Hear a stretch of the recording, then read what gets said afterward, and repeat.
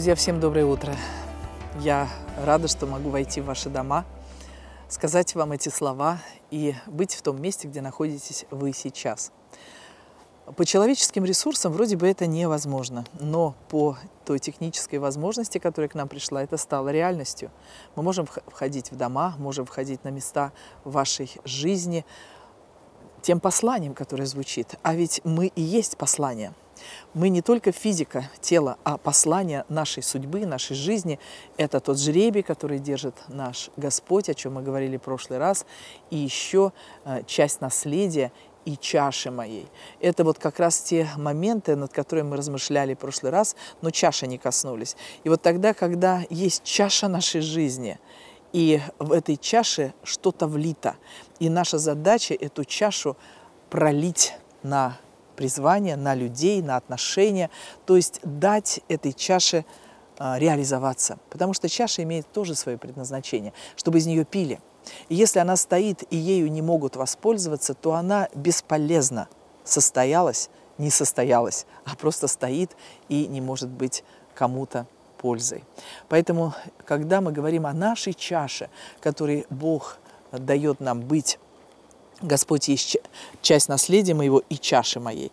То есть в моей жизни есть Его содержание, в моей жизни есть Его природа, которой я могу делиться. Вот, друзья, как важно это делать на любом уровне призвания.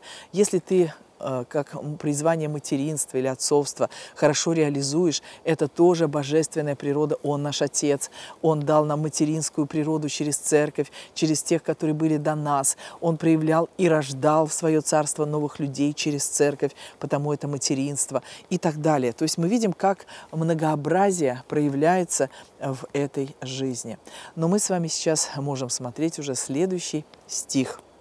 «Межи мои прошли по прекрасным местам, и наследие мое приятно для меня.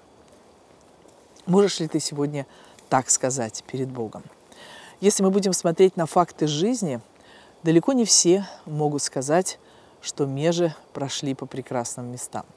Потому что много было трудностей, потому что много было испытаний, потому что много было непонятных поворотов и серпантинов на дороге. Но с другой стороны, если мы посмотрим не на факты, а на итог того, что в нас произвела эта дорога, что в нас произвели эти состояния, то Давид, ведь он же как раз проходил очень много серпантинов в своей жизни, очень много извилистых дорог, но однако, когда он взвесил результат – того, чем он являлся на этот момент, он мог сказать эти слова. «Межи мои прошли по прекрасным местам». Ведь мы же не рассматриваем эти слова в отрыве от жизни Давида. Мы как раз говорим, что он родил эти слова в адрес Бога с учетом какого-то анализа своей жизни.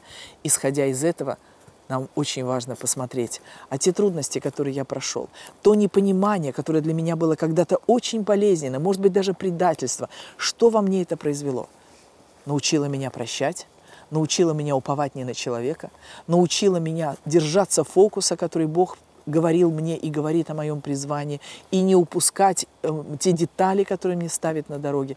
Если это у меня уже как плод моей жизни и характер личности, то мне же прошли по прекрасным местам. То есть Господь наблюдал за тобой и за мной и формировал плод для вечности, с которым мы предстанем пред Богом уже в последнем этапе своей жизни. И наследие мое приятно для меня. Я очень хочу, чтобы эти слова стали реальностью для каждой судьбы для каждого человека. И поэтому наша молитва об этом. Потому что, может быть, сегодня наследие еще неприятно.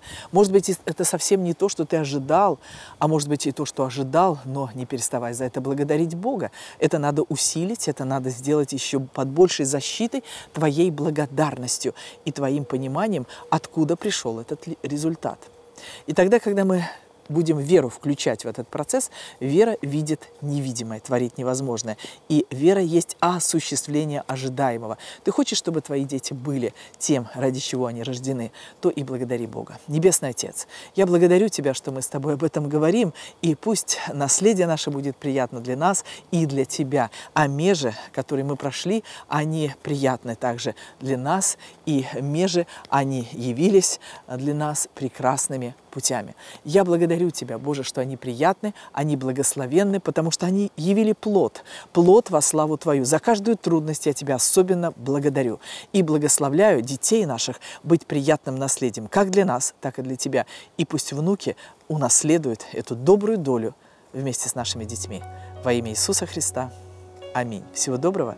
До новых встреч. До свидания.